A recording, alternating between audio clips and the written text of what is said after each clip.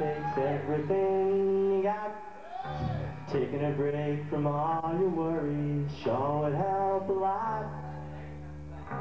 Wouldn't like to get away.